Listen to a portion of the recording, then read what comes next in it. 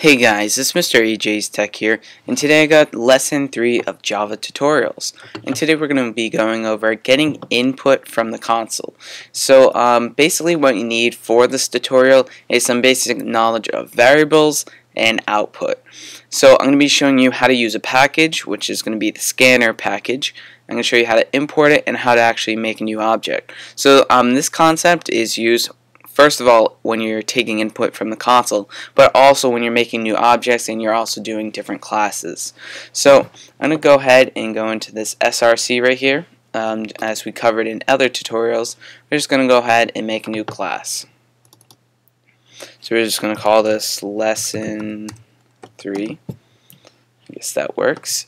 And then we're going to start with our main method.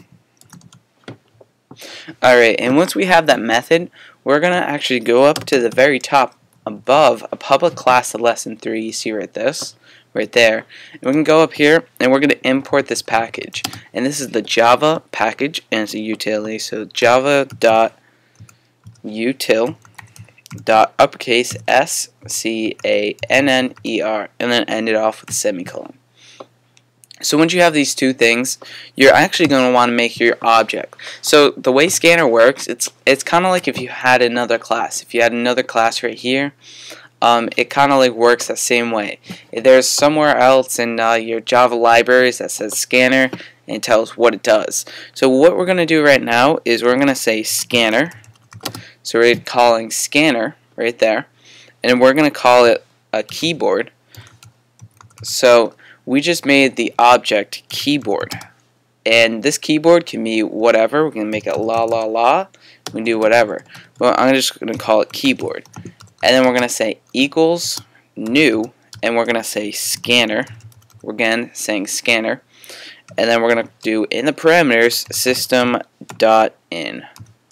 So this is allowing us to take the input from the console.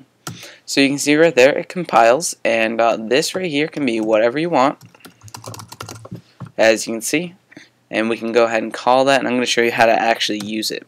So we're going to bring in that back and make a keyboard again.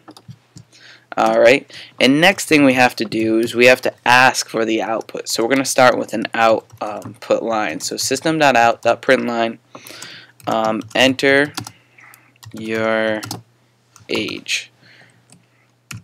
And then what you can do, you can either initialize your variables um, beforehand, as we do right there. We can say age equals keyboard. We're saying the object, keyboard, keyboard, same word, dot, next, and then we're going to say int, and then we end it off, and it actually has little parameters, and those parameters are empty.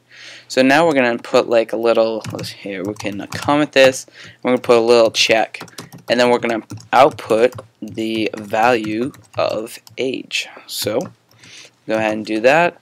Put the variable inside, and now we're going to go ahead and run it. And of course, it prompts you for your age. So you go ahead and say log whatever that is, and it's going to print out what you just said. And just so that we can be sure that's coming from there, we can go ahead and say you entered, put some that, format it, and now let's try it one more time just so you can kind of get the idea. So there you can see that we just took input, we set it equal to age, and we outputted it. So this is used in so many different things. So whether you're asking, you can make it like calculations, or, or if you're making like kind of like a Unix script, and you're asking the user for different parameters, different things. So it's really good to know how to use scanner and also know how to use objects. So the two main concepts you should bring from this, or actually three, is how to import a package, that's one, two, how to make a new object, and three, how to use scanner class. So uh, scanner, again, it's just so useful because you can also do it with, let's go ahead and say string uh, equals, or string, we're going to say string uh, law equals uh, keyboard. You can say dot next.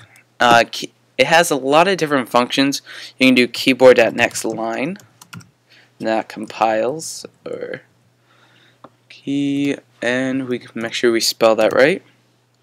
spell our, uh, spell our object right.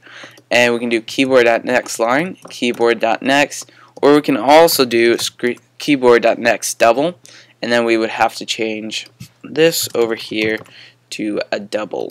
So a double type. And if you don't know what a double is, um, you should probably check out my other tutorial where I went over variable types.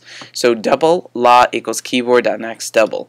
So uh, now we can go ahead and enter a um, decimal point and it'll give us um, it'll allow us to put in that decimal point. So we're going to say you said this and then we're going to say plus la and we'll end that. Now we're just going to run it and we're going to show you that you can use this 57 point whatever. You said this. You can see that right there. And so scanner is very it's it's awesome because you can actually get input and then you also learn the concept, concepts of other things. So it's good to learn at the beginning when you're starting to learn Java. So again, um, I'm going to show you one more type. Um, so string uh, law equals keyboard dot next and we got to go ahead and say system dot out dot print line entered and then plus law now here we go, keyboard.next. And what keyboard.next is it says the next um, like set of characters without a space. So we're going to say, hi there, my name is Andrew. And what it picks up is hi. So the way you can pick up a whole entire line is next line. You guessed it. So it's not that complicated, but you can go ahead and say that. Hi, my name is Andrew and you can see right there that Hi, my name is Andrew. So that was showing you how to use um, the scanner class. So I hope you guys liked this video. I hope it wasn't too long. And uh, the scanner class is very important for later things, learning how to do objects, and going over those three main um, concepts from this lesson.